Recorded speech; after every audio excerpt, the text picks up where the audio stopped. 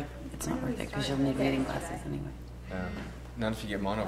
Um, it looks like a One guy's one? asking One and a one. question. See, I only corrected one eye. Isn't Did you it do you more get towards the end? headaches from that? No, because the one, the other eye After corrects. trilling Yeah. in, You- you- like, you're- I've tried it the with one contact, but Your dominant, whatever's dominant for that distance is starting dominates. Whatever one Yesterday? works dominates. We were trying to start from Peter Fisher, try it. right after Peter right, Fisher, right, right. but that You guy know, is not why Peter not? Fisher. Well, We were confused how for a bad is second. your distant vision? Check, check, check, check.